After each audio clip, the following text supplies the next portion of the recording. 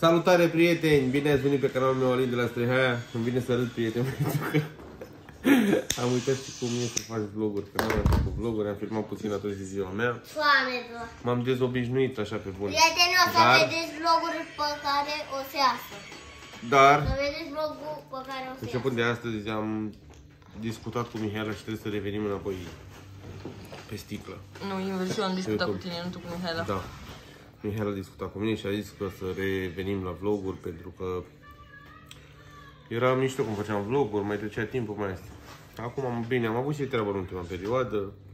N-am făcut nici TikTok ca să spuneți că n-am făcut totul din cauza TikTok. Nici TikTok n-am mai făcut de mult timp. Am intrat la seară puțin pe live, asta tot jumătate de oră și am ieșit. Și asta e, prieteni, noi am revenit. Suntem la Pitești, suntem cu Olga. A venit și Olga la noi pentru câteva zile. Noi acum o să plecăm la București și o să revenim de afară, prieteni, în mașină și mai discutăm multe chestii. Avem multe subiecte de discutat. Vă pupăm!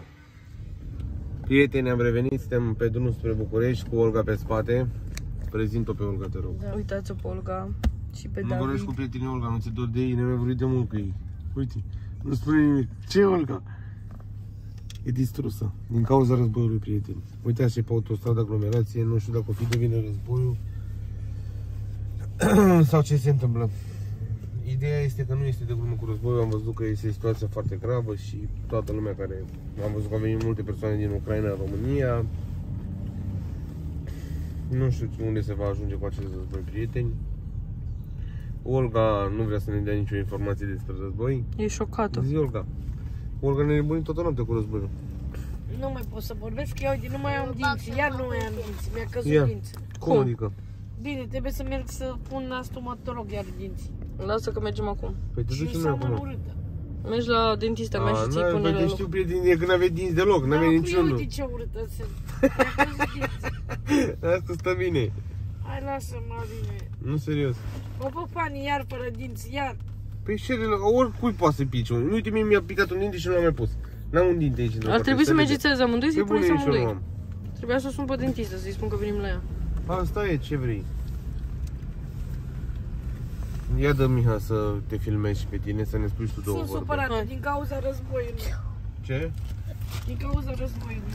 Păi ce s-a Prieteni, întâmplat? după cum știți, Păi cum cu, au eu tot despărțit timpul în mașină trebuie să fac părinții ceva, de să mă machiez, copii, să fac de unghiile, mi-am mame. făcut aseară unghiile. Le-am S-au spus și lui Olga, o să despărțit vii la, femei la cu mine pe canal. Familii. Dar Și le-au trimis la vamă, sunt pe jos nemâncați. suntem Am pe ales bune pe șocați jos cu ce se să întâmplă. pleacă vama. Eu m-am gândit, Ia asta, ia, ia filmează pe Olga, că nu poate de aici cu conduc. eu m-am gândit pe Ia uzi că bune. pleacă vama, unde plecă vama? Nu, bă, lasă-mă că sunt toate femeile la vamă, cu copiii lor, până în 18 David, stai frumos, ani. mamă, să nu cazi.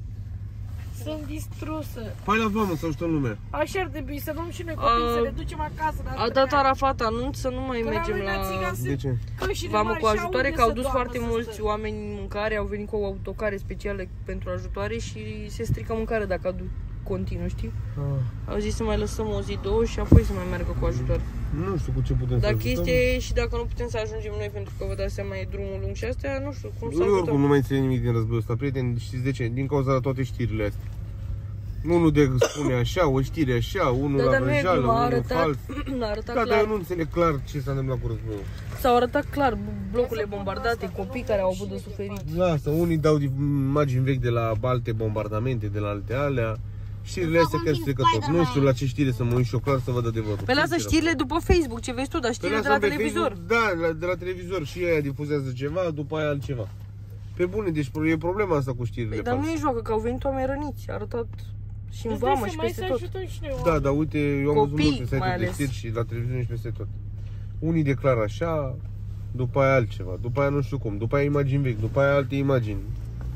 Aiurea. Aș vrea să ajut și eu oamenii, femeile cu copiii lor, să le aducem la Strehaia, că la Strehaia toți țiganii au cășile mari. Au multe camere la căși. Bună O să idee! ajutăm și noi, până trece războiul. Și după aia ei se duc la casele lor după Și ce putem să trece stăm la războiul. voi în beci. Da. Da, și putem să Da. ajutăm și noi pe ei. Dacă era la noi în Dacă stai România, Poate rămâne- dacă era la noi în România războiul și mergeam la ei, cum Lasă, era? mă, Ei ne ajuta pe noi, nu? Și noi nu trebuie să ajutăm și noi pe ei. Când dorme. Sună ursul. Spider-Man. Nu? Păi ajutăm că o să ne ajutăm. Pune puțin în pauză. Da, prietene, am revenit că ne sunase ursul. Da, vreau să Se vede fac bine, și nu? apel. Nu ți-e degetul de aici, nu? Nu. Zi, Olga. Vreau ce să vezi? fac apel. Eu sunt sora lui Leo de la Stehaia, Așa. prințul țiganilor. Sunt uh, Olga, sora lui prințul țiganilor de la Stehaia. Așa. Leo și vreau să fac apel la toți țiganii din toată România care au cășile mari și au multe camere.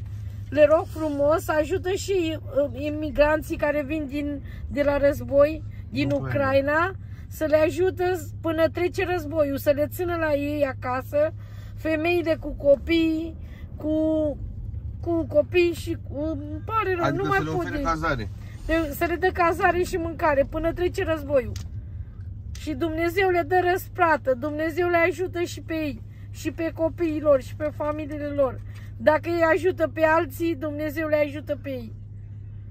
Și simt că am o piatră de inimă că, că, că țiganii mei uh, nu se gândesc la război. Vreau să le spun să se gândească dacă erau ei în locul lor, care, unde e război în țara Ucraina, dacă erau uh, ei în locul lor și trecea vama, ei le ajutau. Și Putem să așa fim să și se noi oricând în gândească locul și lor. ei, să se gândească și ei să ajută, să ajută toți uh, Ucra- uh, femeile din Ucraina și copiii.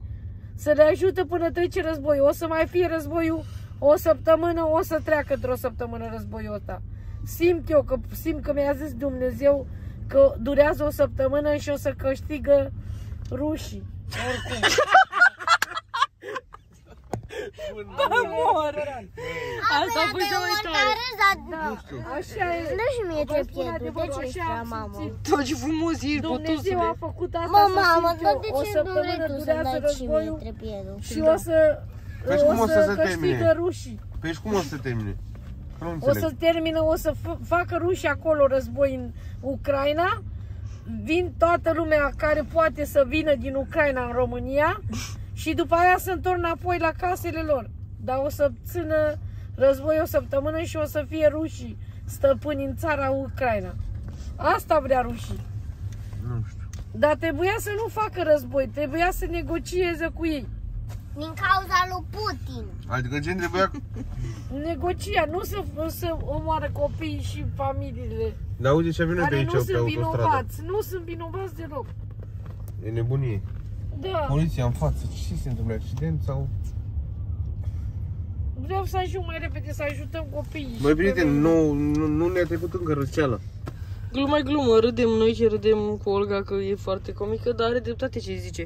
Dacă, uite, mulți dintre țigani au case, ați văzut, care sunt practic hoteluri destinate doar lor. Da, dar eu au fac 12-13 apeluri camere, ar pentru putea toți să ajute. țiganii noștri căldărani și care sunt țiganii romanizați.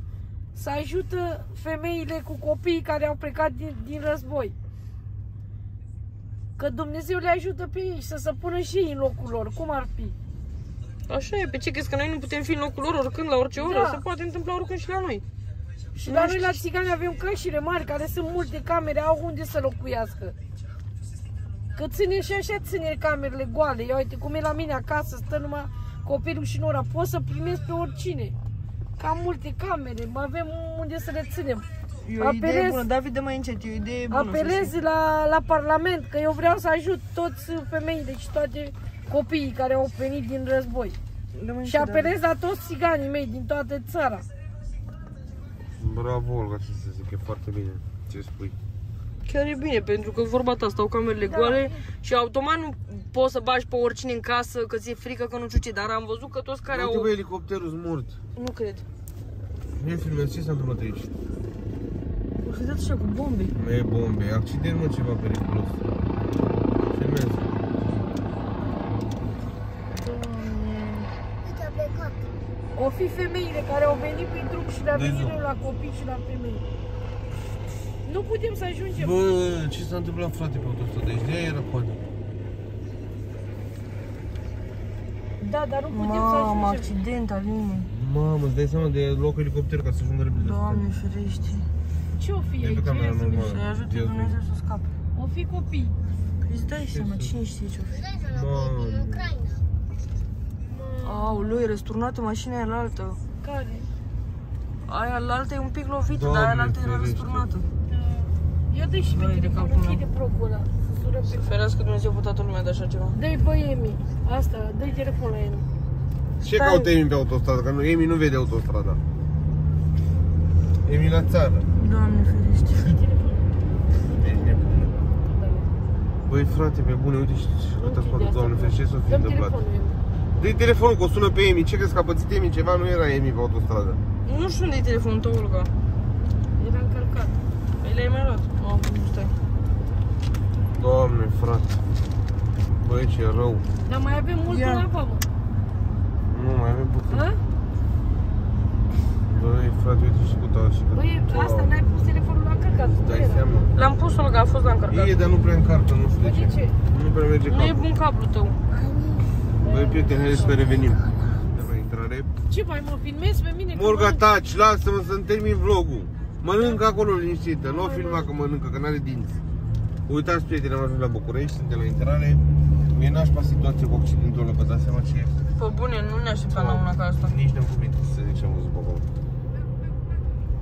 Oricum a fost grav dacă a venit cu elicopterul, îți dai seama. Am ajuns, prieteni, la București. Ce să mai închidem vlogul, prieteni. Și Și ne vedem revenim. mai târziu când terminăm și noi treburile pe aici, o să stăm și vă povestim mai multe. Da, prieteni, o să Și fac cu și Olga eu și vlog azi pe canalul lui David, David de la Strehaia. Da, și o să mai revin și eu cu un vlog pe canalul meu aici și cum vedem poate facem un vlog și pe canalul lui taică meu, pe canalul Leo de la Strehea. Vă invităm să vă abonați la toate canalele noastre. Vă pupăm, vă mulțumim pentru tot și ne vedem mai târziu.